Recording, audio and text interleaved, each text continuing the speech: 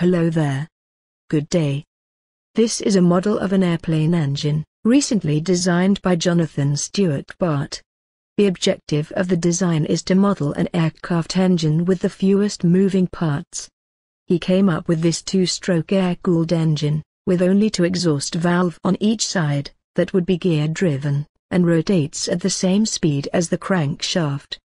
Total moving parts are only six pistons, six connecting rod, one crankshaft, two rotary valves and 10 combination of ball and roller bearings. The six intake reed valves may also be taken into account, even if it only flexes a bit to let air and gas mixture into the gas chamber. A total of only 31 moving parts at high speed.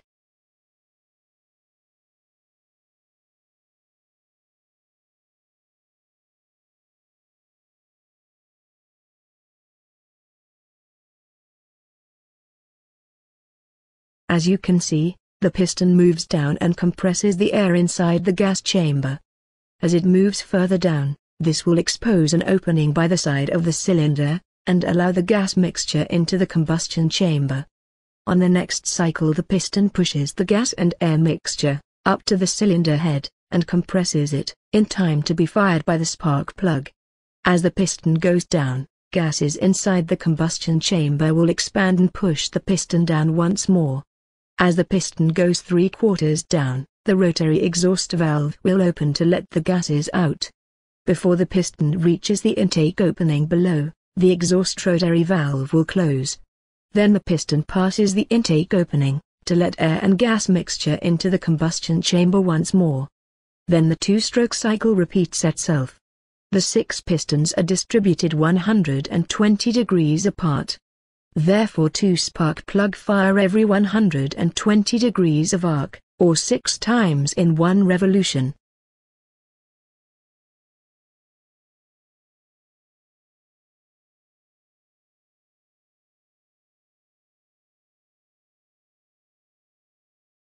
This engine does not require an oil pump thus lesser weight. However, the oil is mixed with the gas inside the gas chamber, and the vapor lubricates the bearings at each end, including the journal bearings in between. The exhaust port has its own lubricated bearings which are sealed. The exhaust valves has no dia contact with the cylinder head.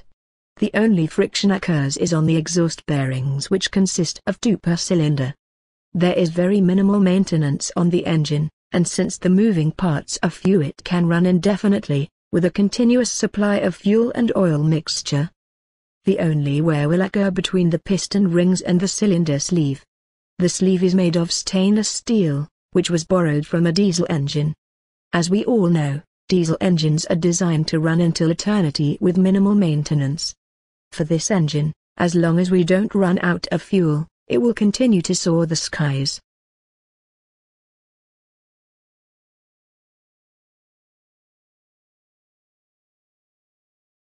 In the next video, we will be designing another engine just like this.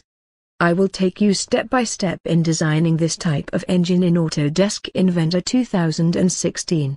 Our objective is to have the parts machined on a CNC. In the 2016 version, we have HSM Works to create and simulate the G-codes or NC codes for that particular part. In this way, we will be able to machine the engine by using the G-codes. Your local CNC machine shop will be able to help you in this matter. The files for this CAD engine model will be uploaded at my GrabCAD account. But please, don't forget to like on my page. However, it would be best if you create the model side by side with me, including the NC codes or G codes and toolpath simulation. I will be doing more videos in Autodesk Inventor and SolidWorks 2016. This is Jonathan's avatar voice, saying thank you for watching this video. Special mention to Rainier Philip Daos for the CNC, engineer Sunny Harley Harley for mentoring and inspiring me in the field of electromechanical and electronics. Have a great day ahead. See you again on the next video.